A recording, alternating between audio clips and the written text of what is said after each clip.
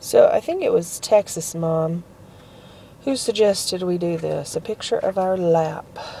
Here's my tatas, which is um, an NSV. I want to look down and see no belly, but I guess I'm sitting. So, um, yeah, I don't have much of a lap either.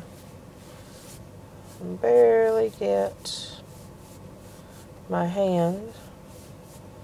Well, my hand doesn't go between my belly and the steering wheel, but two fingers. So we'll see how that changes after surgery. Um, let's.